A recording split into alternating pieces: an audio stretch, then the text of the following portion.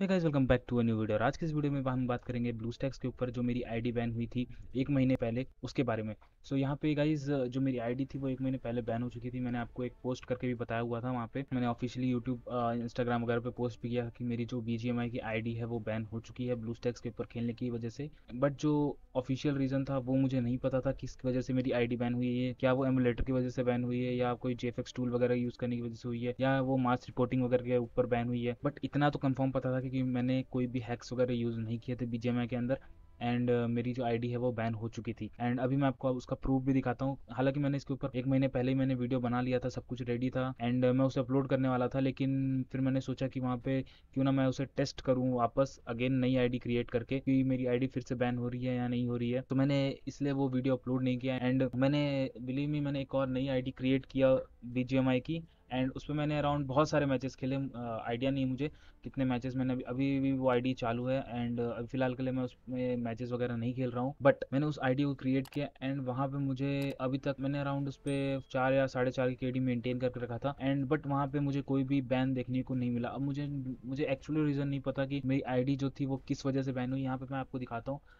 ये रहा मेरा BlueStacks and blue stacks के ऊपर यहाँ पे आप देख सकते हैं बीजेएमआई ओपन है। बट यहाँ पे मैंने कोई भी हैक्स वगैरह लगा के आईडी को बैन नहीं कराया मैं पहले ही क्लियर कर देता हूँ। ये जो मेरी आईडी है वो बैन हुई थी अराउंड दिसंबर में, दस तारीख के आसपास। तो यहाँ पे मैं यहाँ पे मोर पे क्लिक करता हूँ। एंड यहाँ पे मेरा गूगल प्ले गेम से लॉगिन है। तो मैं यहाँ पे गूगल प्ले गेम से लॉगिन करता हूँ। एंड यहाँ पे आप देख सकते हैं ये जो यहाँ पे आपको नोटिस दिख रहा होगा your account will be ban for violating regulation on logs on twenty thirty one twelve ten and around दस तारीख के आसपास जो मेरी आईडी थी वो रात के ग्यारह बजे अराउंड बैन हो चुकी थी। तो उस टाइम पे मैं यहाँ गेम वगैरह खेल रहा था एंड अचानक से जैसे मैं प्लेन के अंदर एंटर हुआ, वहाँ पे मेरी जो आईडी है वो बैन हो गई।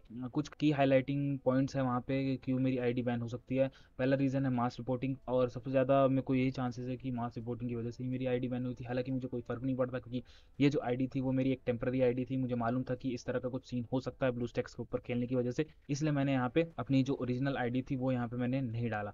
सो यहाँ पे मेरा मास रिपोर्टिंग का सीन हो सकता है उसमें क्योंकि जैसे कि आपको पता ही है जब भी आप नई आईडी क्रिएट करते हैं तो ज़्यादातर बॉट्स ही लगते हैं। एंड अगर आप एक प्रो प्लेयर हैं प्रो इन द सेंस मतलब आपको गेम अच्छे से आता है सो वहाँ पे आप आराम से पंद्रह बीस किल तो आराम से कोई दिक्कत नहीं हर गेम में कर सकते हैं अगर आप पेशेंस रखते हैं एकदम एंड एंड सर्कल तक के सर्वाइव करते हैं। सो so, मैं यहाँ पे अराउंड हर मैच में मेरे 15 टू 20 किल्स थे एंड ऑफकोर्स उसमें रियल प्लेयर्स भी आ रहे होंगे तो वहाँ पे मास रिपोर्टिंग हो सकती है। एंड मैंने बहुत सारे गेम खेले थे एंड उसमें मेरी जो के होगी वो अराउंड एट एट के आसपास की के थी शायद से मुझे कंफर्म नहीं पता बट एट की के होनी चाहिए क्योंकि मेरी हर मैच में फिफ्टीन टू ट्वेंटी किल्स होते ही थे। सो so, वो एक चीज़ है कोई एंड नेक्स्ट चीज़ जो हो सकती है G tool but G tools तो जैसा कि आपको अगर पता होगा कि नए जो अपडेट आए थे मतलब जो अभी का अपडेट है अपडेट जो 1.7 चल रहा है उसमें जी टूल वगैरह की जो सेटिंग्स थी वो अप्लाई नहीं होती थी मतलब इन गेम नहीं दिखाती थी। सो so, वहाँ पे हो सकता है कि जे टूल की वजह से मेरी जो आईडी वो है बैन हो गई हो।